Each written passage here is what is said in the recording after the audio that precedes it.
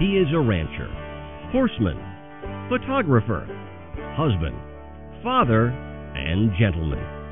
He is Bob Moorhouse, the 2008 recipient of the Golden Spur Award. So many other words can describe this man who has worked to promote the traditions of ranch life, but mostly his actions speak louder than words. This multi talented cowboy has many layers, but at the heart is a man who embodies the enduring spirit of the ranching way of life and Western heritage. Bob was born into ranching.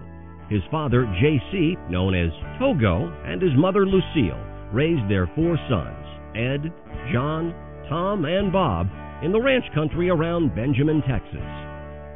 He carried on the traditions of a ranching family that traced back to the beginning of the 20th century. The Moorhouse Ranch did things the traditional way taking out the wagon, driving the remuda, dragging to the fire.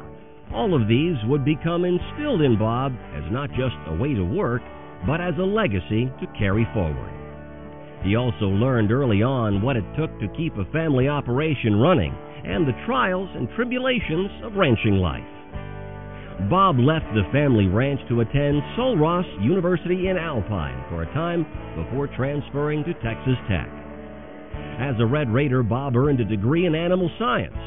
Always knowing his life's work would be in ranching, he made his way back home with a stop in Guthrie at the Pitchfork Land and Cattle Company.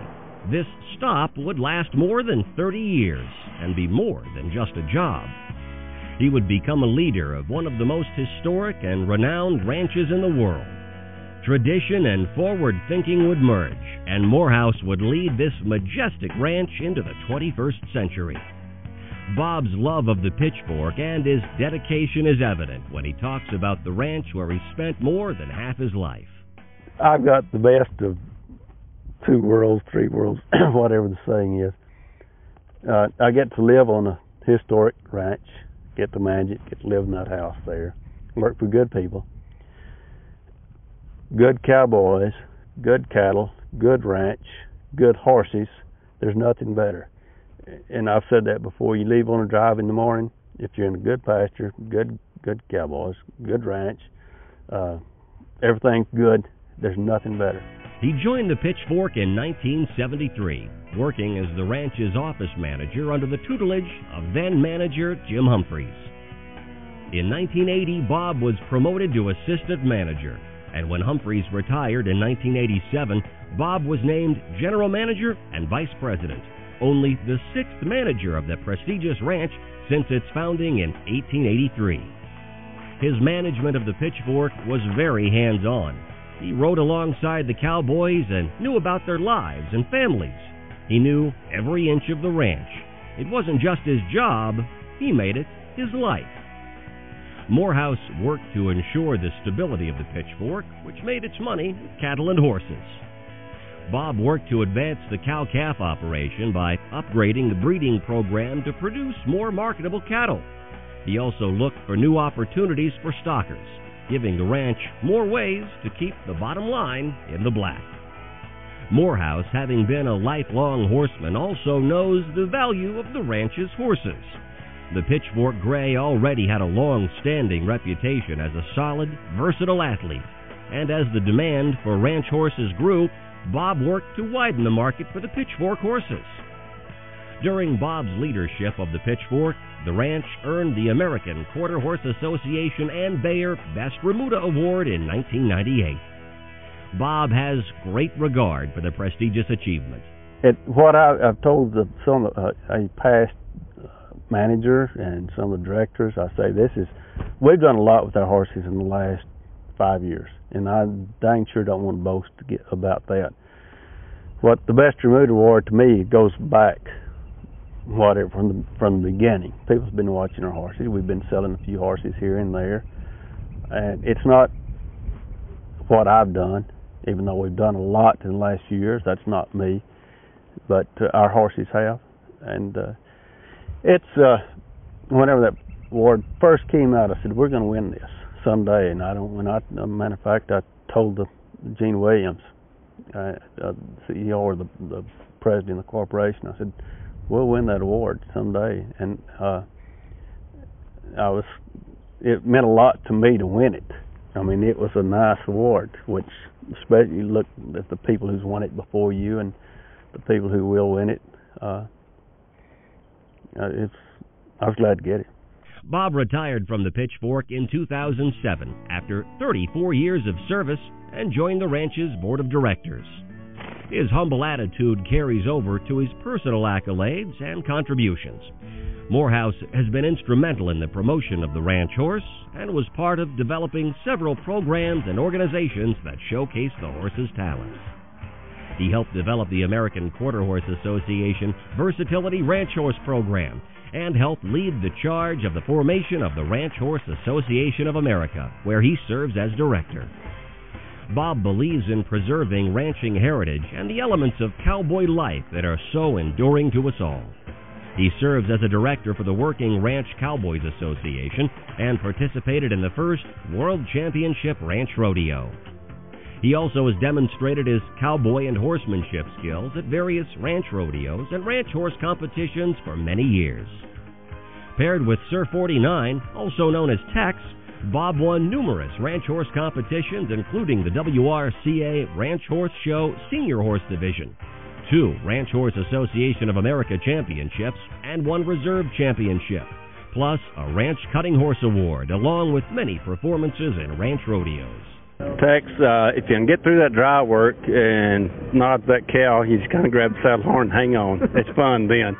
The two make a formidable pair in and out of the arena, and have even been cast in a bronze by Western sculptor Harold Holden.